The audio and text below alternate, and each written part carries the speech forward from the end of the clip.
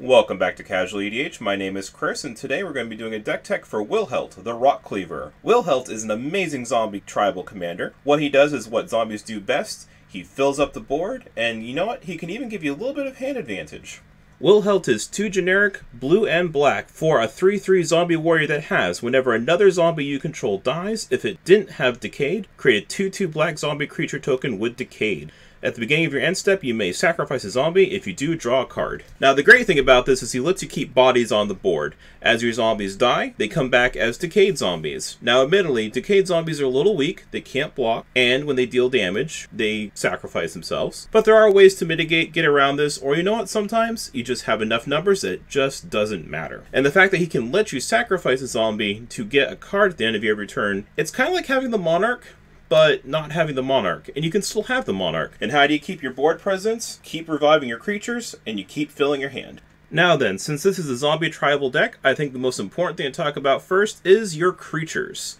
So being a tribal deck, you do want to keep as many of your creatures as zombies as possible, but I think an important part of deck building is realizing when you need to go outside your theme a little bit to get things that help your theme. So I'm going to start off with the non-zombies in the deck, and for that we have four creatures. We have Yawgmoth, Thran Physician, who will let you sacrifice your zombies to get a card draw, similar to Wilhelt, but you can do it at instant speed by paying a life. And this will also allow you to make Decayed zombies, so it's almost like getting a two for one there. We have the Scarab God, who lets you get a bit of scry and a bit of damage in. Now don't be fooled, the Scarab God is not a zombie, he is just a god. But you can get a lot of effect out of them. You can even use them to get some stuff out of your graveyard if you want. We have Geralf, Visionary Stitcher. A lot of times, he, all he's going to be doing is sitting on the field and giving your zombies flying, but you can, if the circumstances warrant, pay blue and tap to sacrifice another zombie to make two token copies of that zombie, plus probably your decayed zombie. And lastly, a key piece in this deck, you get Poppet Stitcher. He is a human wizard that has, whenever you cast an instant spell, create a 2-2 black zombie creature with Decayed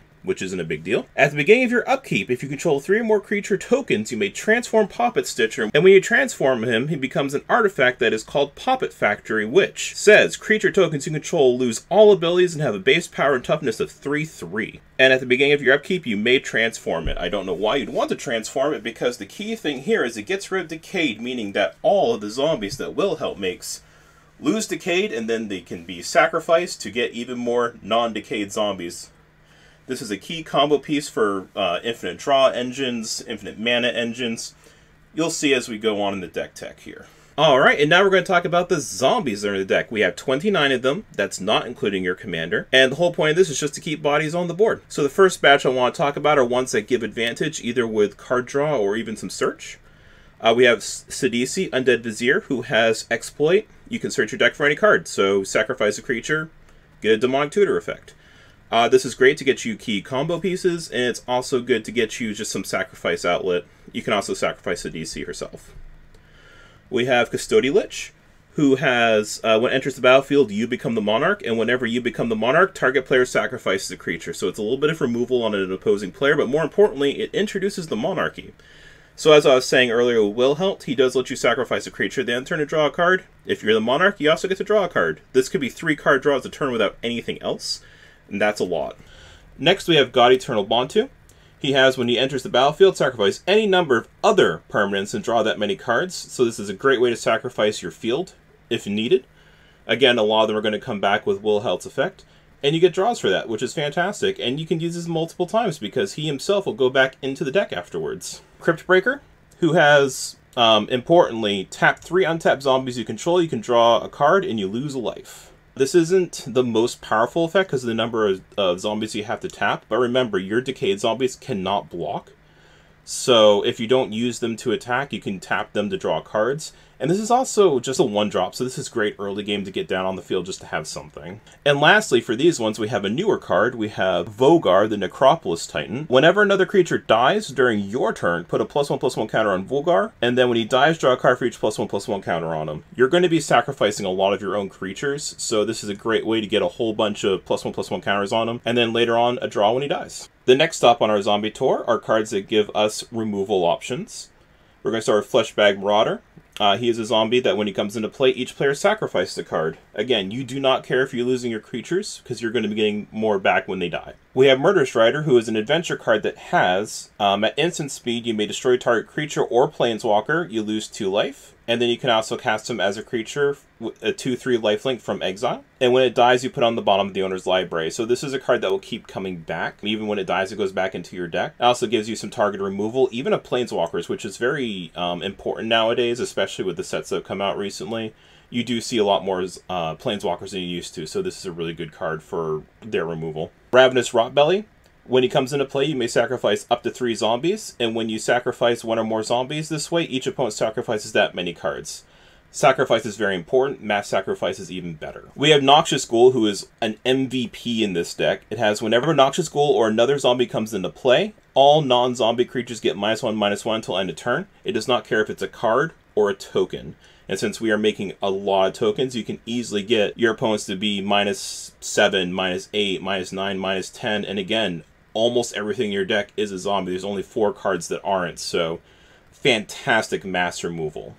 And then, of course, we have what used to be one of the best zombie commanders, but now is a little bit better in the 99, Grimgrin the Corpseborn. I enters tapped. He doesn't untap during your untap step. You have to sacrifice a creature to untap him, but you do put a plus one plus one counter on him. Uh, when he attacks, destroy target creature defending player controls and put a plus one plus one counter on Grimgrin. So it's a bit of removal. He's already a 5-5 body to begin with, so once you start putting those plus one plus one counters on him, he gets very large very quickly. You remove whatever is most threatening on their board, and then you just swing him with another big creature, which means they're probably losing something else. Alright, we also have three more zombie cards here that act a little bit like uh, aristocrats in a certain way. We have Diregraf Captain, who gives all the zombies plus plus one plus one, so he is a lord. And whenever another zombie you control dies, target opponent loses a life. Uh, next up is Grey Merchant of Asphodel. He has Devotion to Black, where everyone else loses life equal to your Devotion to Black, and then you gain life equal to the life lost. This can create huge momentum swings. This deck is primarily black, so you can gain a whole bunch of life while making everyone else loses a moderate amount of life, and also with the amount of ways that you have to recur cards. In this deck, you can do this multiple times.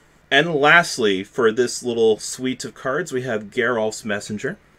Uh, he does enter the battlefield tapped. He has Undying, and whenever he enters the battlefield, target opponent loses two life. He's great because of the Undying effect, because you can get rid of him, he makes the token, but then he comes back, someone loses a couple life. If you recur him a few times, it can get a little obnoxious. He's also only 3 mana for a 3-2, so he's kind of he's kind of beefy. The next seven cards we're going to talk about are either cards that recur themselves, or they recur other creatures.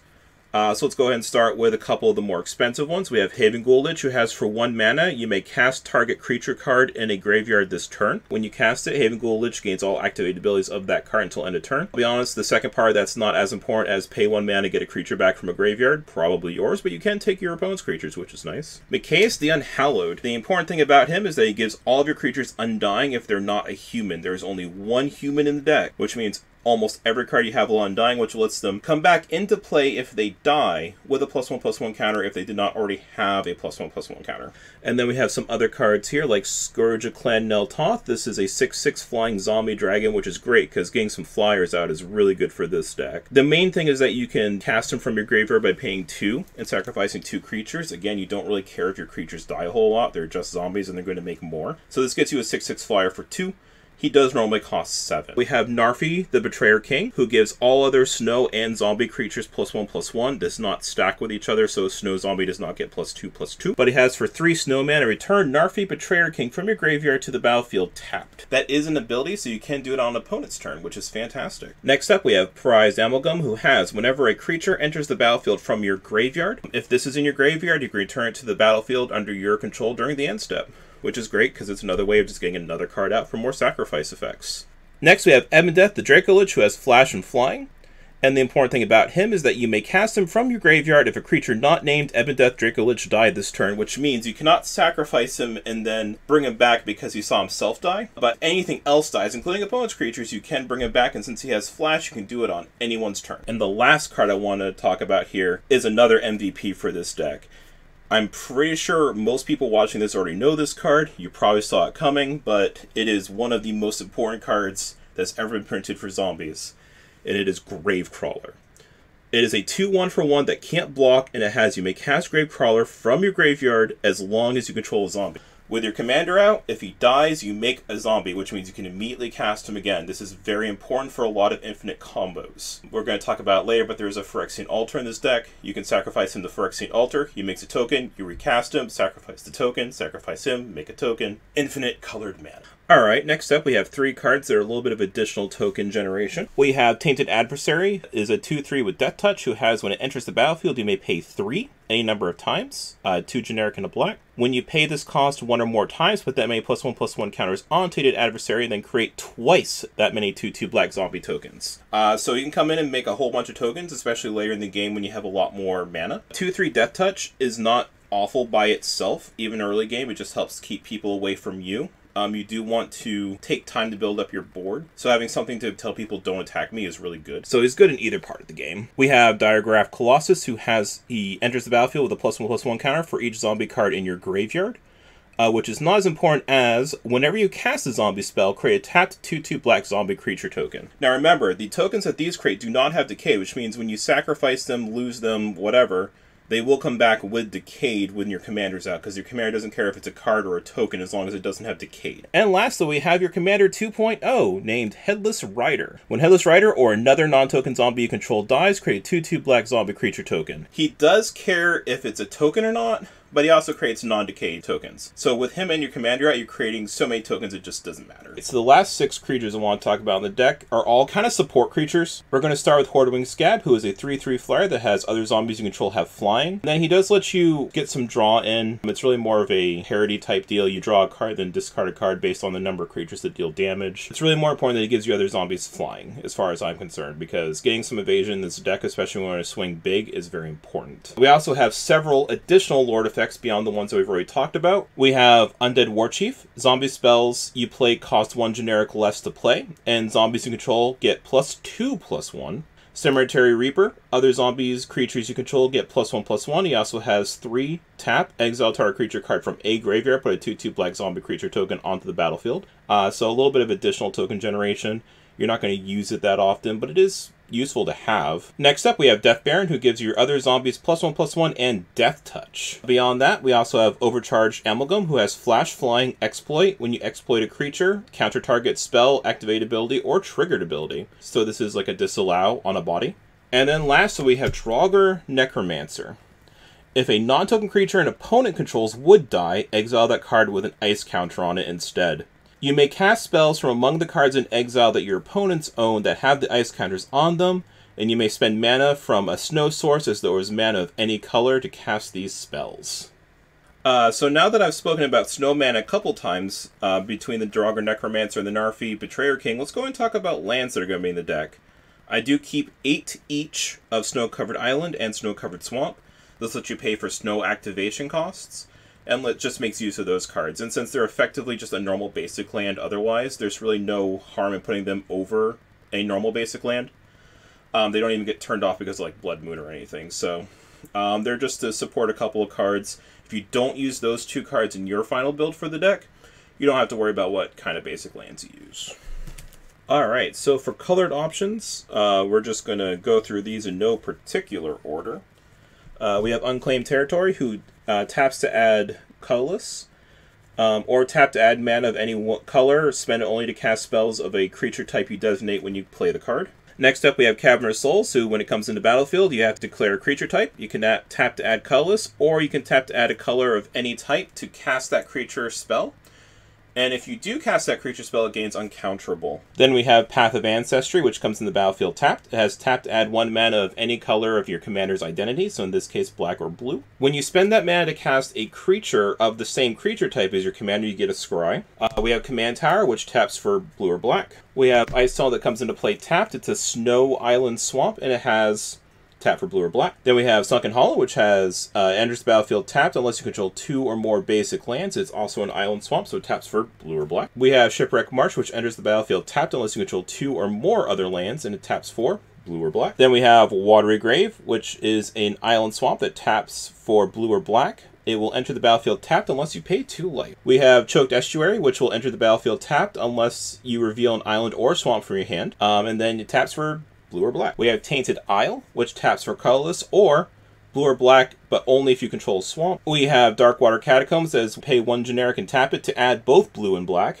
So, you know, breaking the pattern there. And then we have Temple of Deceit, which enters the battlefield tapped. You scry one, and then it adds, you guessed it, blue or black. First up for the more exciting lands, we have Field of the Dead, which enters the battlefield tapped. It taps for colorless.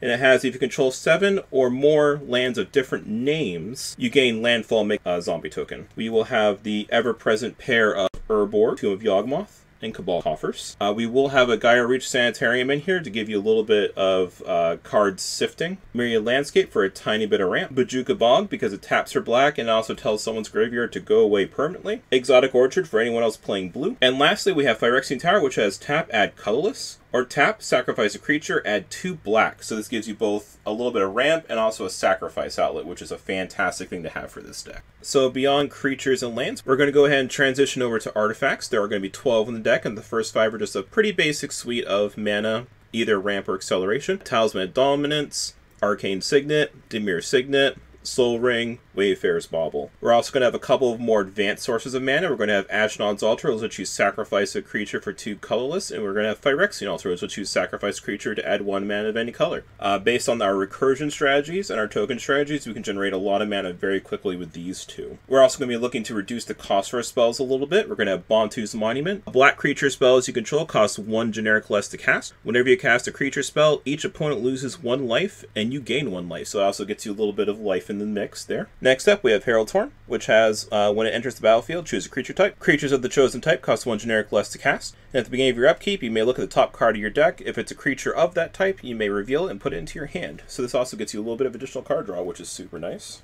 Speaking of other tribal strategies, we have Vanquisher's Banner. As Vanquisher's Banner enters the battlefield, choose a creature type. Creatures of the chosen type get plus one plus one, and whenever you cast a creature spell of the chosen type, draw a card. Icon of Ancestry. Choose a creature type. Creatures of the chosen type get plus one plus one. It also has three tap. Look at the top three cards of your deck. You may reveal a creature card of the chosen type from them and put it into your hand. So again, it's a little bit of additional ways of just getting more creatures into your hand. Now, one thing you might notice at this point is there's actually quite a few cards in here that buff your zombies. And this is important because at the end of the day, you are going to be attacking into people to win games. So knowing that, I don't think it's any surprise they're also going to include a coat of arms. Now, coat of arms has some very confusing math with it for people. Each creature gets plus one plus one for each creature that shares a type with it. So all your zombies are going to get plus one plus one for basically the number of zombies you control minus one because it doesn't count itself, the original one. But also any zombies your opponents control and then your opponents have to do math because they're like, I have a human warrior, I have three humans, so I get plus three, blah, blah, blah, blah.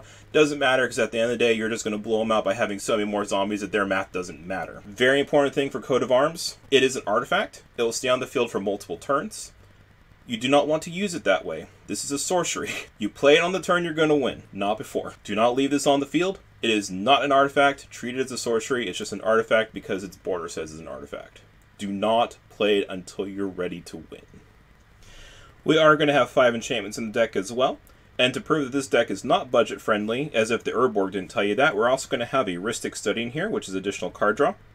We're also going to have Rooftop Storm, which you pay zero instead of Zombies casting costs.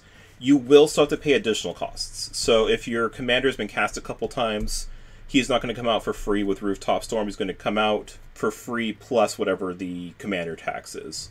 Necroduality. When a non-token zombie creature enters the battlefield under your control, create a token that's a copy of that creature. Uh, this is great to get additional lord effects. It's just an additional token. It creates Maelstrom. If you have Necroduality and Rooftop Storm out, it's ridiculous. Uh, we're going to have Endless Ranks of the Dead. This is a pretty well-known zombie enchantment here.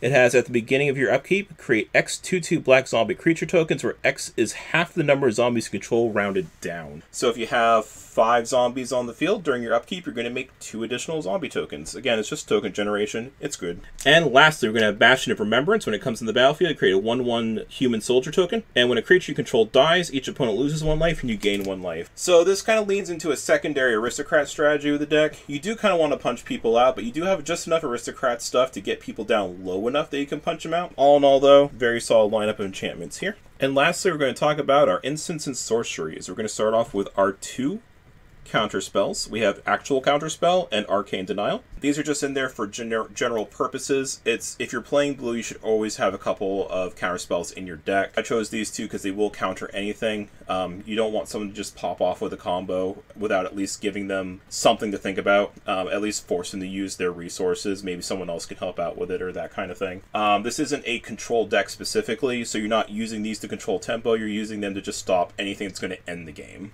We're going to have three board wipes. We're going to have Toxic Deluge, uh, which lets you pay a, an amount of life, and then each creature gets minus X minus X, where X is the amount of life you paid. Uh, this is great to get around indestructible and anything that targets. We have Dead of Winter. All non-snow creatures get minus X minus X until end of turn, where X is the number of snow permanents you control. Um, again, we do keep some snow basic lands in here. If you are not using the snow lands, if you're not doing the snow sub theme there, you can just swap this out with pretty much any black removal spell you want. Um, I do like this one because it's three mana, so it does get around things like Gaddock Teeg, although you don't really see Gaddock Teeg a whole lot anymore, so it's not a big deal.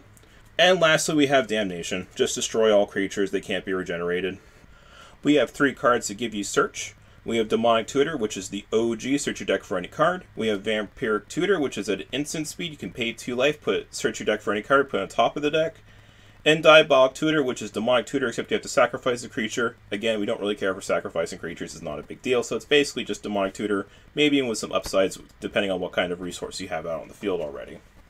Um, I do keep a copy of Distant Melodies in the deck. You basically choose zombies and then draw cards equal to the number of zombie cards you control. Um, it doesn't care if it's an actual spell or if it's a token. We have Army of the Damned. It's a bit of an expensive card, but it does create 13 tap 2 2 black zombie tokens with flashback do the same thing. Uh, this can generate a lot of tokens very quickly. Um, just a reminder, if you have something like Phyrexian Altar out, you're paying 8 mana to get 26 mana if your commander's out, because you make 13 tokens, they make 13 more tokens, which gets you 26 mana. So this is also a really good way to get a lot of burst mana. Um, you can even treat it like a dark ritual if you want. And again, it has flashbacks, so you can do that a second time too. Empty the Laboratory is a really fun card. You sacrifice X zombies and then reveal cards into reveal X zombies, put those zombies into play, the rest of the cards on the bottom of your deck in any order. Great way to turn all those kind of not as great decayed zombies into serious zombie threats. And we have Zombie Apocalypse. So this could have been in the board wipe section. Um, I don't count it as a board wipe because it only destroys humans. What it does do is get you all zombies out of your graveyard back onto the field. Um, fantastic recursion card. And humans are the most popular creature type in Magic, which means you're likely still going to get a few cards for it. So not only do you get all your zombies back, but you also get some fringe benefit from it too, which is nice. And lastly, because everyone needs to sigh more, we have Cyclonic Rift. Um, bounces all non-land permanents to their owner's hands other than your own, Great way to set up for the end of the game. Now, then normally I would end one of these deck techs by talking about cards you can swap out for more cost-effective versions. Um, really, the thing with zombies is zombies are, I think they're the second most popular creature type in Magic. They have so many options, it's ridiculous. At the end of the day, you can customize this deck any way you want. Uh, whatever your favorite zombies are, you can just basically put them in. Uh, just find something that does a similar role as them, and then take it out and put whatever you want in. Um, as far as the more expensive spells and lands and things like that, that one's a little bit tougher. It's going to depend on what your local area looks like as far as what uh, your games are going to look at. Uh, maybe you don't need a cyclonic rift. Maybe you can do like uh, evacuation or aether spouts or something. They're not quite as effective. There's a reason why cyclonic rift is at the price point it's at. It's an expensive card because it's a very good card. But if you're not playing against people who are very high powered, um, or you want to play a more casual game, you don't need to have cyclonic.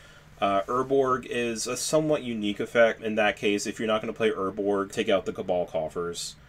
Uh, put in a couple basic swamps or something. It's not really a big deal. If you don't want to do infinite combos, take out the altars, take out the grave crawler, things like that. Uh, you just have so many customization options available. It's really going to come down to what you want to focus on in the deck. This version of it is optimized to be very focused at basically flooding the board very quickly and punching people really hard. It works very well the way it does, but it's not going to be perfect for everyone in every situation. And I'm going to say this with every deck tech video is my opinion. There is no one deck you can find online that's going to be perfect for you. You are going to have to put in some time and effort to look at cards that you want to put in that fit your playstyle. I can make the most combo heavy deck, but if my brain can't figure out how to make those combos work, I can't play it. Right? So at the end of the day, customize it however you want. Zombies is a fantastic option for basically making your own customized deck because there are so many options. Add in more counter spells if you want. Put in more control, make it a zombie control deck if you want. That's perfectly fine. I'm just showing you what I built and what works for me. Uh, so as always, thank you so much for watching. I really appreciate it. Like and subscribe if you can. Have a good day.